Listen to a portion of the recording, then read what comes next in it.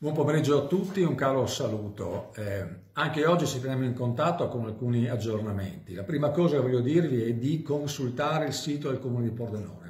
I telefoni del comune scottano, ci sono centinaia di chiamate, ma molto spesso sono informazioni che potete ricavare autonomamente semplicemente consultando le nostre pagine. Troverete informazioni di ogni genere e tipo per poter orientarvi tra norme, ordinanze e anche suggerimenti per fare la spesa, comprare i farmaci, tutto quello che serve per affrontare al meglio l'emergenza virus. Per quanto riguarda i buoni spesa, sono già arrivate 200 domande, sono tantissime le persone che stanno chiamando per avere informazioni. Già oggi circa 20-25 famiglie riceveranno i primi buoni per fare la spesa. Se però ritenete di essere tra le categorie che possono ricevere questo contributo, cioè famiglie che hanno subito un grave contraccolpo in termini di reddito, di entrate nel mese di marzo, consultate il sito e magari se non rientrate in quella categoria potete conoscere qualcuno che ne può beneficiare. Fatelo ed eventualmente se avete dubbi sul regolamento o dubbi su come si compila la domanda potete chiamare due numeri. Uno è lo 0434 392 680 e l'altro è 0434 392 999. C'è una batteria di persone che risponderà ai vostri quesiti cercando di eh, darvi tutti gli elementi per interpretare il regolamento e compilare la eh, domanda. Mi appello anche a coloro i quali hanno attività eh, di alimentari o di frutta e verdura o pescheria o macelleria, perché abbiamo bisogno anche dell'adesione di queste attività dicendo che accetteranno i buoni pasto in sostituzione dei soldi, dopodiché sarà il comune ovviamente a rifondere eh, quanto eh, dovuto.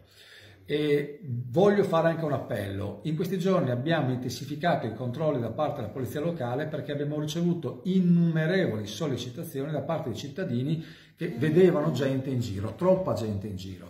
Abbiamo fatto così, abbiamo messo anche le squadre della protezione civile a contare le persone che incontravano in alcune zone campione della città. Beh, devo dirvi che c'è parecchia gente in giro. Non parlo di migliaia, ma di centinaia sì. E allora dobbiamo essere estremamente chiari. L'emergenza non è finita. È vero che i regolamenti lasciano, come dire, degli spiragli per poter aggirare la norma, portare il cane, fare la spesa, andare al tabaccaio, comprare il giornale, ma queste che sono regole di respiro non possono diventare un escamotage, uno stratagemma per aggirare costantemente i regolamenti e le norme. Non è così che funziona. Si può andare a comprare il giornale, ma una volta al giorno, non tre volte al giorno. Si può andare a fare la spesa una volta al giorno, non quattro volte al giorno, anzi meglio una volta alla settimana. Perché se non abbiamo capito, il contagio non è finito. E il contagio si prende andando troppo spesso in farmacia, toccando il bancone alla porta, andando a incontrare altre persone. Continuano le segnalazioni con foto di chi fa ginnastica in due o più persone o di chi si incontra senza rispettare le regole. E questo è profondamente ingiusto nei confronti di coloro i quali continuano invece a rispettare le norme, che sono la stragrande maggioranza. Chi si è imposto una clausura in queste settimane lo fa con la speranza che ci sia la fine di questo provvedimento.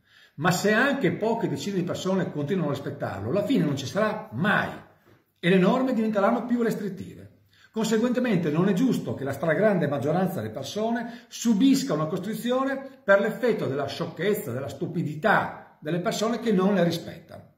Quindi cerchiamo di darci tutti una regola, altrimenti le norme diventeranno ulteriormente restrittive e non meno restrittive. Quindi dobbiamo darci una mano, dobbiamo stare responsabilità, senso civico, coesione, rispetto per noi stessi e rispetto per gli altri. Ripeto, diamoci tutti una regolata. Troppa gente in giro. Ci sono delle belle giornate? Sì, ma c'è anche il virus. E come avete visto, il virus si diffonde con una facilità che non si pensava all'inizio, che non era immaginabile.